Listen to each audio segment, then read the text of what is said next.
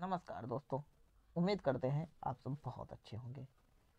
आज बात करेंगे हम कोविड नाइन्टीन के बारे में और जानेंगे इस लेक्चर में बहुत कुछ। चलिए बात करते हैं कोविड नाइन्टीन के नए वेरिएंट की, जिसका नाम है ओमिक्रॉन और ये हाल ही में साउथ अफ्रीका में पाया गया था, जिसके बाद पूरे वर्ल्ड की गवर्नमेंट अलर्ट हो चुकी हैं और बहुत सारे देशों ने तो ट्रैवल बैन भी लगा दिए हैं। कि साउथ अफ्रीका के लोग उन देशों की यात्रा नहीं कर सकते।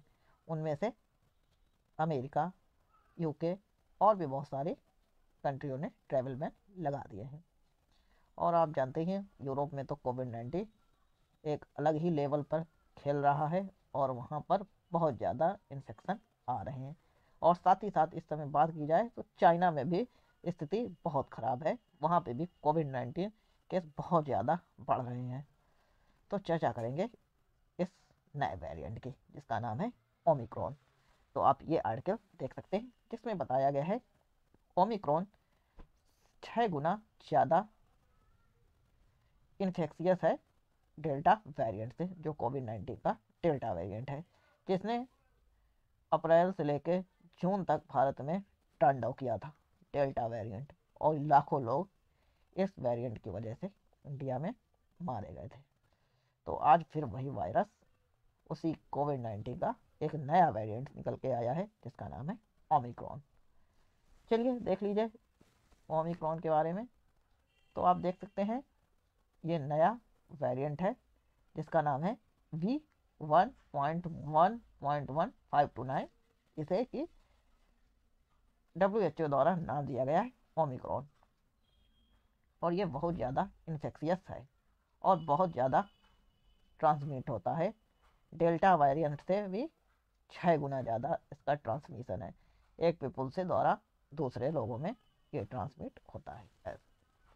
आगे बात करेंगे इसके बारे में। तो आप देख सकते हैं कहाँ कहाँ ये अभी तक स्पॉट किया गया है। तो ये आप देख सकते हैं इस मैप में। ये रेड कलर से दिखाया गया है जहाँ जहाँ ये वायरस मिला है। तो आप देख पाएँगे इस मैप में कितनी कंट्रियों में इसे अब तक ट्रेस किया जा चुका है। ऑस्ट्रेलिया में और ये अफ्रीका में, साउथ अफ्रीका में यहाँ से स्टार्टिंग हुई इस वायरस की हांगकॉन्ग में भी, इजराइल, इटली और इन सब देशों में, यूके में।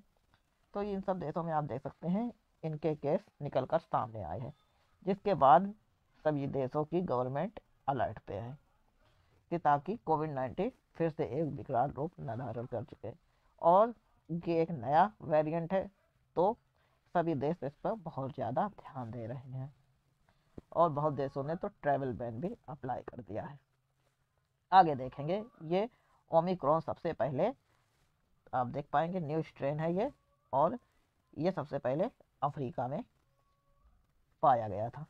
उसके बाद ये दस कंट्रियों में और भी फैल चुका है, जिसमें कनाडा, यूके, नीदरलैंड, डेनमार्क और ऑस्ट्रेलिया जैसी भी कंट्री शामिल है, और इसराइल भी। इनमें शामिल है, आपने मैप में देख लिया।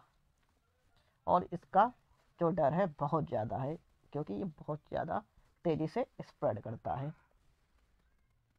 आप देख पाएँगे।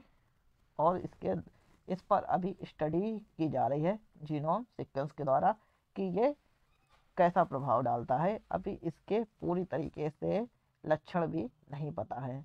और ना ही इस पर वैक्सीन का भी कोई रिज़ल्ट नहीं मिला है अभी तक कि जो हम वैक्सीन लगा चुके हैं, वो इस पर कारगर है कि नहीं। लेकिन अभी तक इतना निकल के आया है कि ये वैक्सीनेटेड लोगों को भी इन्फेक्ट कर सकता है।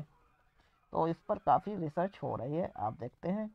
देख सकते हैं, ये न्यू वेरिएंट है, बहुत ज़्यादा ट्रांसमिसिबल है और अपने वेरिएंट जो कि पुराने थे, उनकी तुलना में जैसे कि अल्फ़ा, कप्पा, डेल्टा डेल्टा एक खतरनाक वेरिएंट था, जिसे वेरिएंट ऑफ़ कंसर्न की लिस्ट में रखा गया था, आप जानते हैं।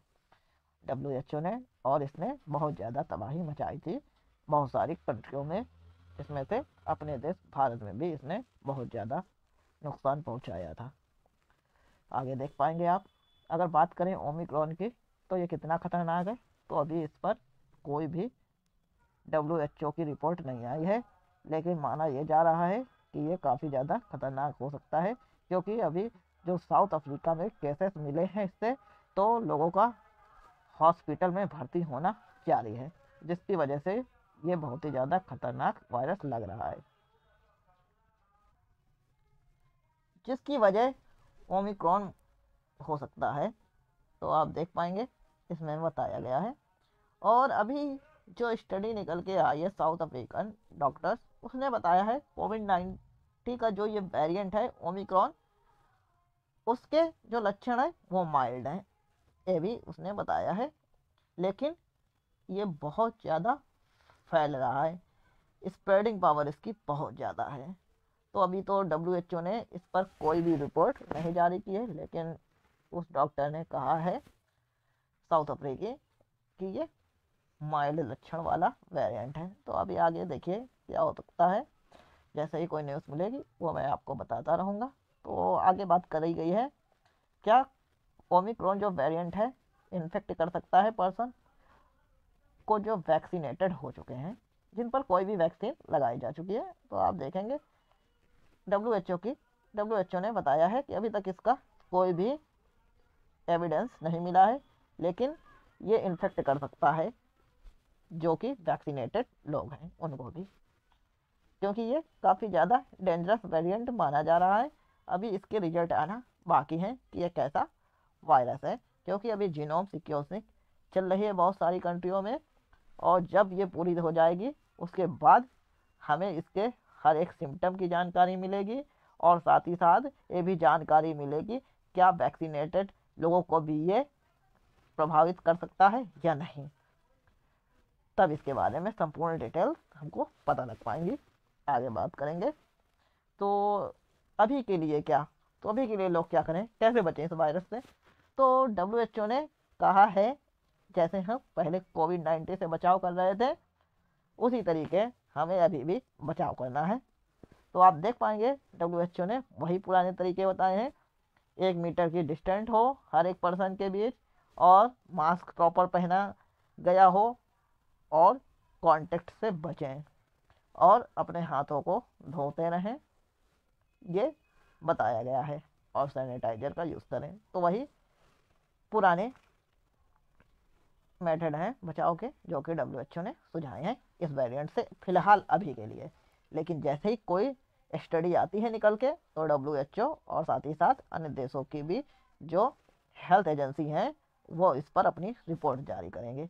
उसके बाद हमें इसके बारे में अच्छे से नॉलेज मिल सकेगा और डॉक्टरों को भी, जिससे कि वह अच्छे से इसका ट्रीटमेंट कर पाएँगे कि ये वायरस ख़तरनाक है कि नहीं, कि केवल स्प्रेडिंग करता है। तो मिलेंगे एक नए लेक्चर में, ऐसे ही किसी इंफॉर्मेशन के साथ। Thanks for watching